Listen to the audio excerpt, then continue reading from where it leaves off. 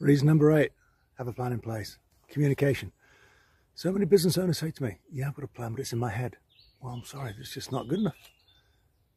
Your colleagues need to know who's responsible, what, what the goals are, how you're going to get there.